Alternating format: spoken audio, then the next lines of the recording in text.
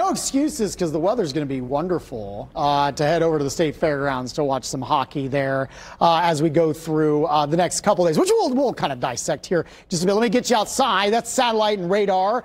And again, showing quiet conditions. Nitro.